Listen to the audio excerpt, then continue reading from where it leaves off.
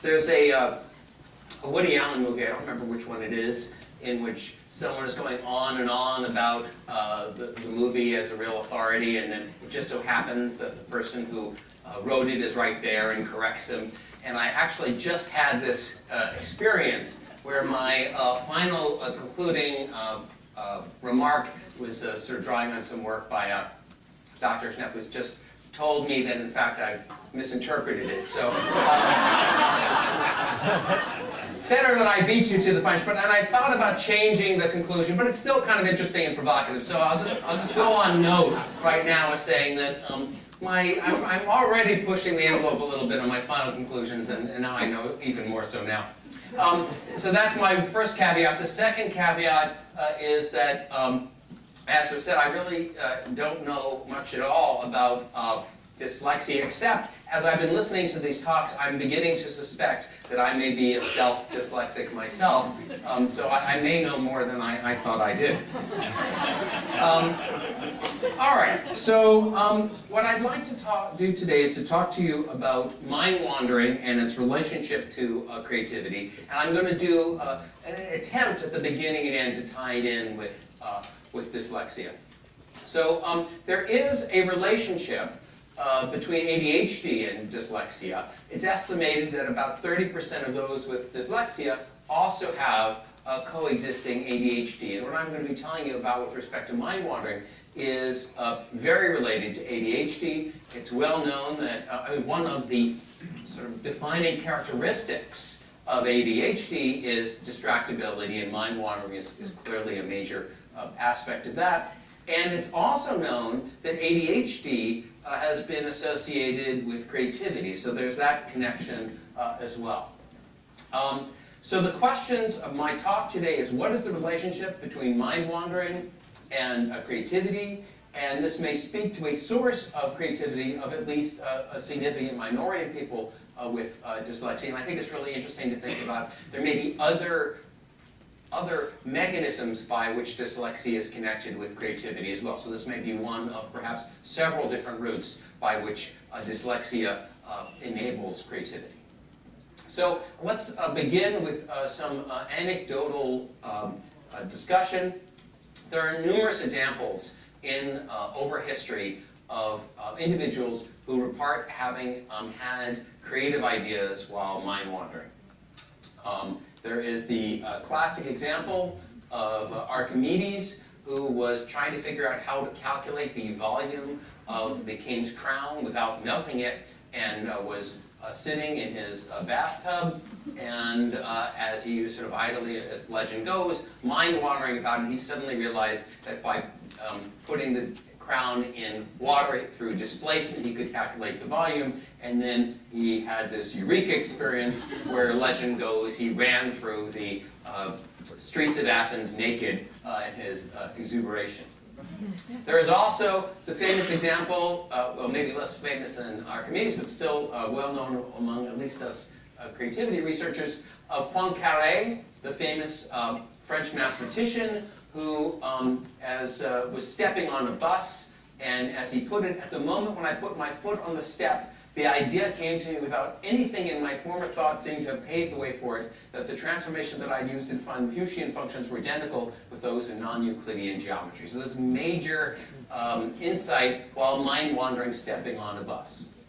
Just a couple of other examples. Uh, Kary Mullis, the inventor of DNA replication, apparently, he on one Friday night in April 1983, while driving to his weekend cabin, is recording it, suddenly struck him that there was a method of producing unlimited copies of DNA fragments simply and in vitro. And this has proved to be hugely important in terms of the study of DNA because you can only study uh, by being able to replicate it, all sorts of advantages have been made possible. And then lastly, uh, Townes' invention of the laser. Apparently, uh, the idea for the laser beam dawned upon physicist Charles Townes while he was sitting on a park bench in Washington, D.C., admiring the azaleas. He suddenly realized how light could be configured into a very pure, uh, pure form. So a lot of examples of people just sort of thinking idly and suddenly uh, very creative ideas occur. Um, so major discoveries seem to occur when people have been working on a problem for a while and then take a break. Solution occurs while mind wandering during the break and this is also, and I'll be coming back to this as well, and this is also an, an exciting part of uh, Mark Beeman's research, seems to be associated with an aha experience. So there seems to be sort of this connection, perhaps, between mind wandering, creativity, and the aha experience. So those are sort of the key ideas that I hope you can hold in your mind, uh, unless you're mind wandering. um, so the goals of the present research that I want to tell you about today first is to examine uh, the relationship between mind wandering and creative incubation in the laboratory, first off. Then to assess the relationship between individual differences in mind wandering, creativity, and aha experiences. So looking at are people who are uh, inclined towards mind wandering, do they have a different relationship to creativity? And then uh, thirdly, um, and this is um, unpublished uh, research and also where uh, I'll be pushing the envelope a little bit too far, I suspect, uh, to explore the role of mind wandering and aha experiences in the actual output of creative individuals, screenwriters, and physicists. This is work you haven't heard about. Uh, so, all right, so here we go. Uh, mind wandering and incubation. So in this study, we are interested in investigating the degree to which the benefits of an incubation interval in creative problem solving stem from the opportunity for mind wandering. So just to sort of bring this back to you guys, you've all had the experience of you're trying to solve a problem and you go, I need to sleep on it, right? I just need to just let my mind sleep on it and I'll come back to it. And this has been studied in, uh, uh, in research. What happens when you've been working on a problem and you take a break? Uh, and what we were interested in this study is if we fill that break with different activities, what does that do to the value of the break? So we directly compared incubation in, uh, of varying levels of difficulty, so they're doing different things. Um, and it's been shown that when people are engaging in a very demanding task, they mind wander, not surprisingly, less when they engage in a less demanding task. And so we thought if we give people sort of just the right amount, sort of the Goldilocks, just the right amount of demand to their incubation interval, this might particularly spur on creative uh, ideas. Uh, we used a technique known as the unusual uses test, where you ask people to come up with as many uses as they can think of for a common everyday object, such as a brick or a hanger. Okay, so this is the way this paradigm worked.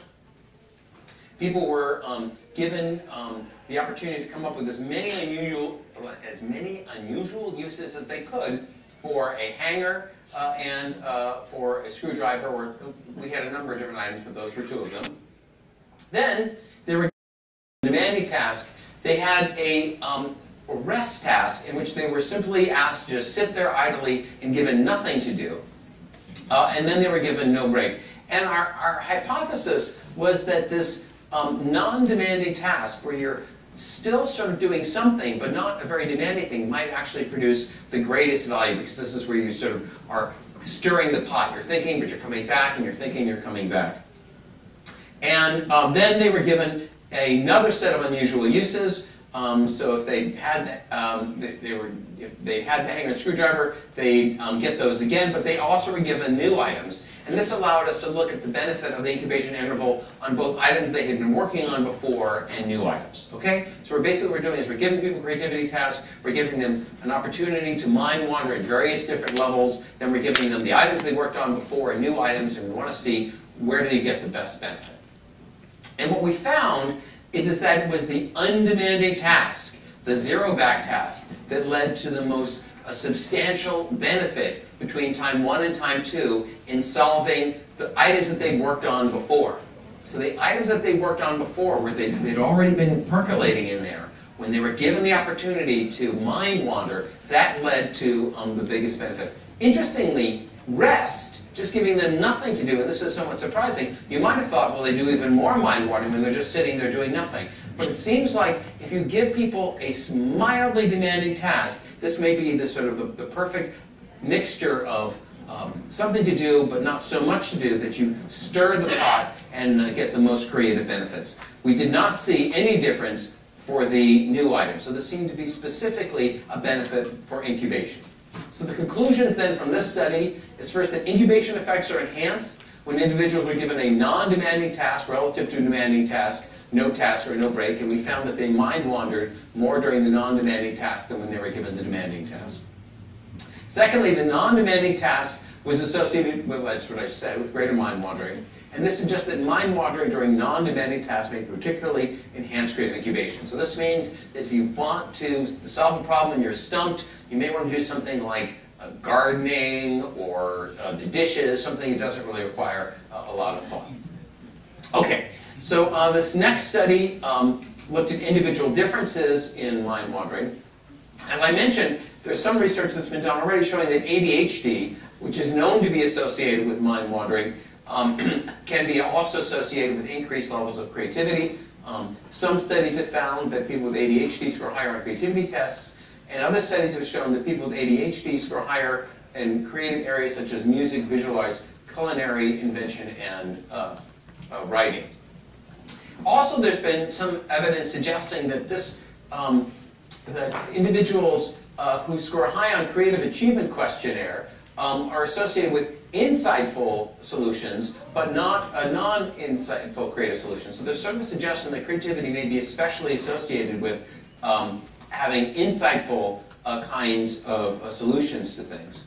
And so our prediction then was that people high in mind wandering may be particularly creative, but that this may be especially associated to uh, insightful solutions. So we're predicting a relationship between creativity and mind wandering, and that people who mind wander may be particularly likely to solve uh, creative problems in an insightful way. So in this study, um, individuals were um, given various measures of mind wandering. Uh, this scale known as the MAAS scale, Mindfulness Questionnaire, which is, I'll show you some of the items on it, it's negatively correlated with uh, mind wandering ADHD scale. They were given a reading task and another task, uh, a vigilance task, and we looked at mind wandering on those various different measures. And then we gave them uh, the remote associate uh, task, which is very close, uh, I guess, is your task basically closely aligned to um, the uh, task that uh, Dr. Beeman is going to be telling you about. Um, basically what happens is you give people, I don't think I have an example, but you give people three words, all of which have a common associate, and people have to come up with the um, word that is related to all three of those uh, other words. Um, this is the uh, MAAS scale, so you can see a lot of these items are very close to mind wandering. I find it difficult as they focus on what's happening in the present. I tend to walk quickly to get where I'm going without paying attention to where I, uh, what I experience along the way. Um, let's see. I drive places on automatic pilot and then wonder why uh, I went there. I find myself preoccupied with the future of the past. I find myself doing things without paying attention. So closely related to, uh, to mind wandering. And this is a very busy uh, thing, so let me just walk you through here. This is people's measure on the Moscow, which we're using as a measure of, um, of mind wandering. And what you can see here is, is that their accuracy on the um, RAT ones that they solved without insight, there's no correlation. Um, but the more mindful they were, so this is usually mindfulness is a good thing, but in this particular study, the higher they scored on the mindfulness uh, scale, the less high, um, the less well they did in solving RATs uh, insightfully. So this suggests that there may be a relationship between mind wandering and the tendency to solve creative problems in a uh, insightful manner. So the conclusions from this study first, the performance of the remote associates was negatively related to mindfulness, but only for insightfully solved problems. And this suggests then that mind wandering insight may involve uh, complementary uh, processes. Okay, so now this last study, this is a work that um, we are, we've just um, um, completed, so we're still writing it up. And we looked here at um, the real-time um, creative ideas of two different populations of creative individuals, physicists and uh, creative writers. We had 45 physicists and 53 writers, and every day for two weeks, they completed a creativity journal where they were uh, asked uh, if they'd had any creative ideas that day. Uh, I'll, I'll tell you about it more in a moment. Basically asked if they had any creative ideas that day and the context surrounding those ideas and how creative they thought they were. The physicists were um, from a very highly selective um, workshop um, that happens at UCSB. UCSB has a, a really stellar physics department. Uh, and the writers were members of the Writer Guild. They were only eligible if they spent 20 hours per week uh, or more writing on writing-related concepts. Many of them were screenwriters, novelists, and so some of their creative ideas would be like, oh, that's how I can kill this guy. Uh, in this case, they're killing off their character, uh, nothing more. Um, so um, we asked them, first, did you have any ideas today that you think might represent a meaningful advance on any project that you're currently working on? Yes or no? Uh, we assessed the occurrence of mind wandering. We had two different questions that um, tapped this. First, what were you thinking about when the idea occurred to you? I was absorbed in the general idea or problem, so that would be on tasker. I was thinking about something unrelated to the general idea or problem, so that would count as mind wandering. And then we also asked them, what were you doing when the idea occurred to you, actively pursuing the project, working on another work-related problem, project, or idea, doing something unrelated to work, e.g. paying a bill. So either this, doing something unrelated, or this was defined as mind wandering. And then we also asked them, was the idea an insight? Um, uh, we got at that in two different ways. One of the characteristics of insights is that they typically involve overcoming an impasse. So we asked them, what was the state of the problem that you had had an idea about? And uh, if they said I'd been in an impasse, that would suggest that it was an insight. And then we also asked them just, would you say this felt like an aha moment? And just asked them to indicate yes or no. Okay, and then lastly, we asked them the quality idea, how important do you think it is, how significant do you think it is, how confident, and most critically, how creative do you think it is. Um, the other thing that we did, which was kind of fun, is we contacted them again six months later. And we said, hey, remember that idea? Or you know, do you remember that idea? Whatever happened to that? You know, was it sticky? So we could actually look at what happens over time to these ideas and ask those same questions over time. Okay, so what did we find? First off, um, uh, we had very good compliance. Um, we had um, a number of days completed, 100, um, so about 13 out of the 14 days people actually did it, so this is really a good, our, our undergraduates are rarely this uh, diligent. Um, on 783 of those days, 62% they had an idea that they were rated. So these guys, they're coming up with ideas, um, about eight ideas uh, per person. And when did the ideas occur? So about 28% of the ideas said they were thinking about something unrelated to the general idea or problem. And 20, about, again, about 28% doing something unrelated to work, e.g. paying a bill. And when you combine those two, 42% was either one or the other of these definitions. So so nearly 40% of the ideas that these people are having were arguably uh, occurring during mind wandering. So we think that's a pretty exciting uh, finding right there, is that a lot of these ideas are not happening when people are at their desk working on the problem. They're happening uh, at some moment of mind wandering. What was the nature of the idea? Um, about 13% uh, involve uh, overcoming an, an impasse, and about uh, so that's the key aspect of that one. And then here, about 45% were described as an aha moment. So they're having a fair bit of aha ideas uh, as well.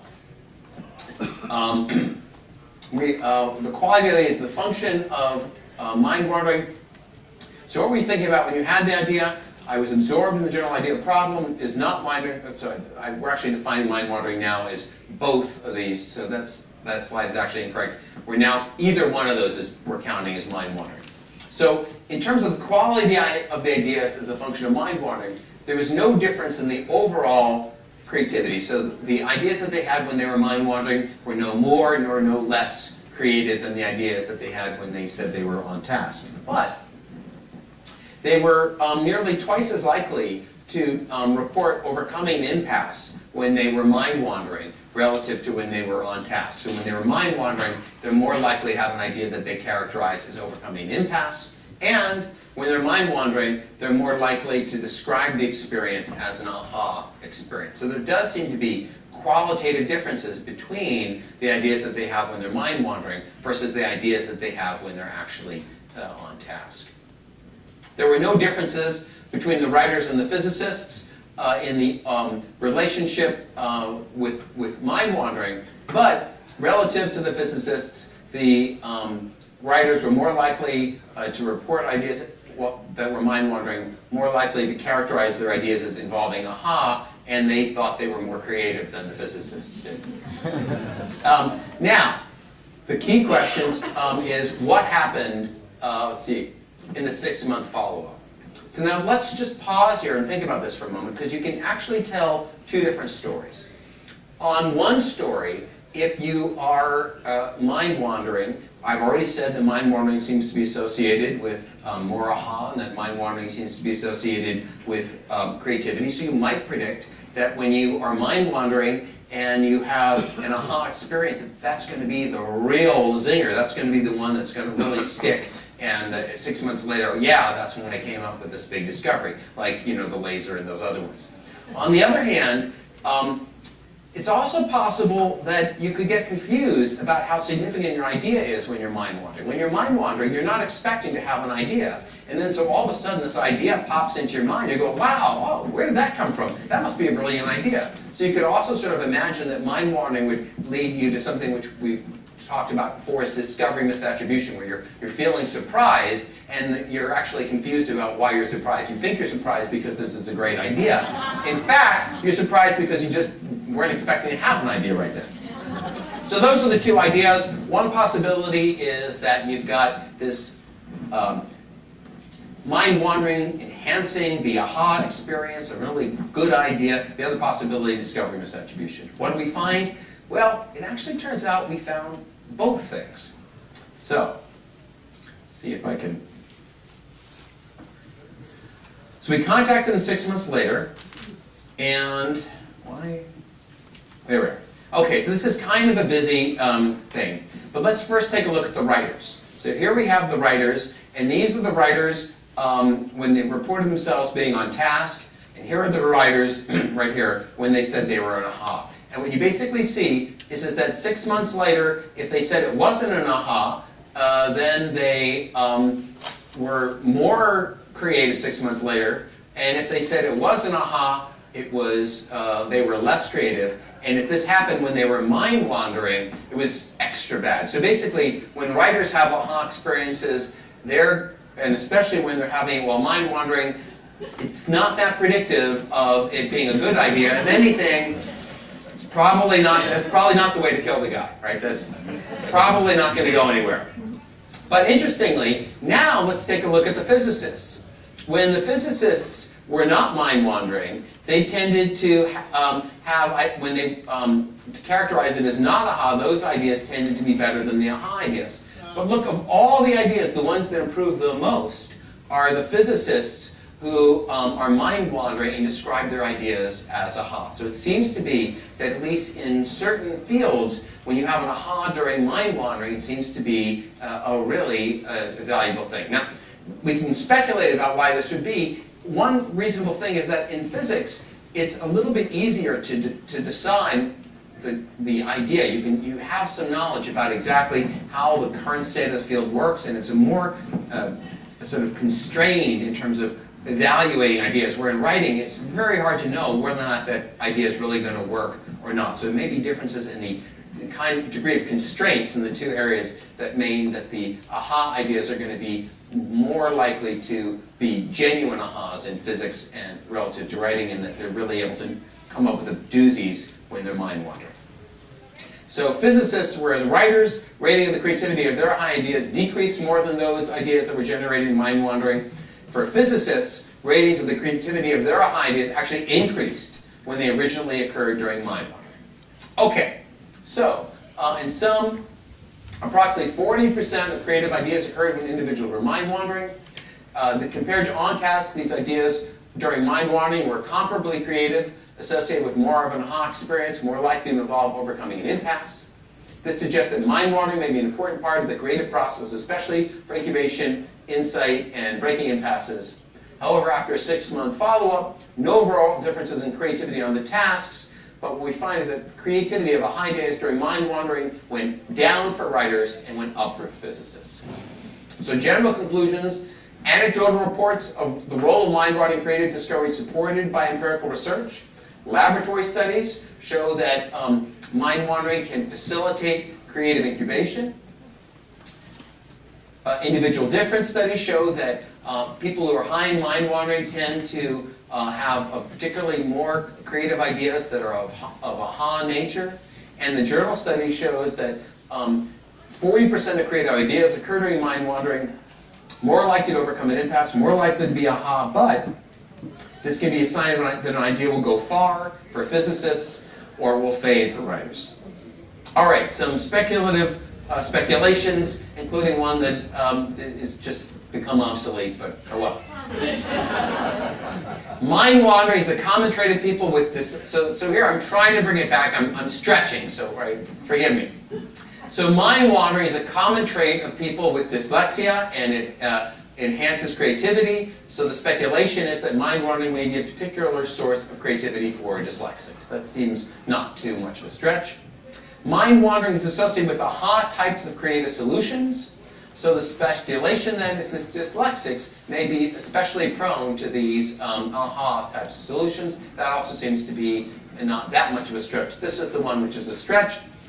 Uh, the value of ideas that happen during mind wandering are especially likely to increase with time for physicists. Dyslexia is common among physicists. I've now been told that it may not be any more common for physicists than writers, so this kind of ruins that one. But so the, the, speculation, which we're no longer buying, is that dyslexics may be especially prone to have a high ideas during mind wandering whose value grow rather than fade with time. And uh, this may be the case perhaps in certain disciplines. Well, um, I hope you paid attention, but if you didn't, if you were mind wandering, I hope you had your next big idea. Thank you very much.